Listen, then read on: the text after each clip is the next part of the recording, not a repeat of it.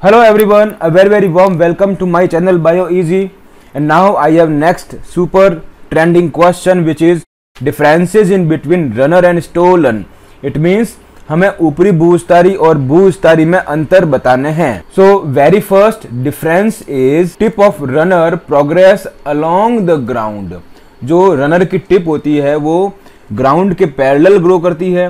But tip of stolon grow above the ground level जो tip है stolon की, वो ग्राउंड लेवल के ऊपर, यानी आर्क शेप में ग्रो करती है, ठीक है?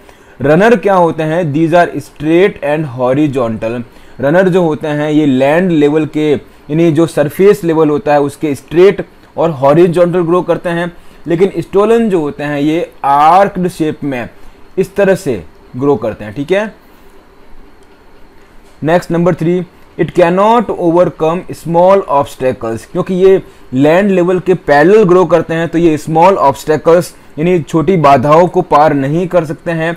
लेकिन स्टोलन जो होते हैं it can overcome small obstacles क्योंकि ये आर्क शेप में ग्रो करते हैं। सपोज़ ये ऑब्स्टेकल है तो इसके ऊपर ये इस तरह से ग्रो कर सकते हैं तो ये ऐसे स्मॉल ऑब्स्टेकल्स को इजीली क्रॉस आउट कर सकते हैं, ठीक है? Next number four internodes are very short इनके इंटरनोड जो होते हैं, बहुत छोटे होते हैं।